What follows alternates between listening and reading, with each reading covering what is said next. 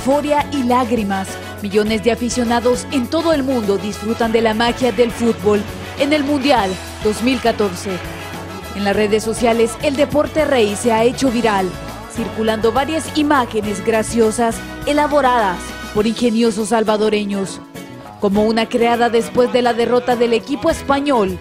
El resultado se debe al desgaste que tuvo con la selección del Salvador. Aprovecharon la pérdida del grupo Catracho para hacer un meme guanaco en el que aparece Karim Benzema con la frase fuera de la isla conejo.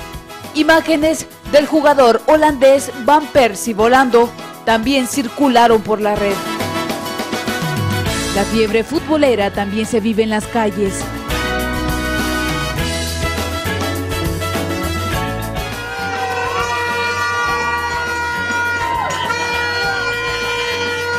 El corazón de la capital se ha teñido de los colores de los equipos que disputan la Copa.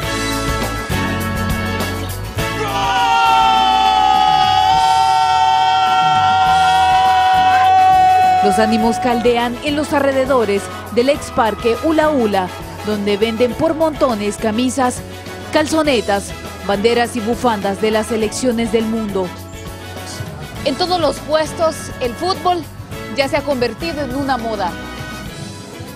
Pueden encontrar trajecitos desde la talla cero para recién nacidos, camisetas y blusas para las señoritas amantes del fútbol. ¿Cuánto están las camisas? Ah, tenemos día 8, día 7, día 12, día 15, hay de varios precios. En los bares y restaurantes se escuchan los gritos de los amantes del deporte rey. Aunque la selección salvadoreña no está entre los equipos disputantes, aquí ya se tiene a su favorito.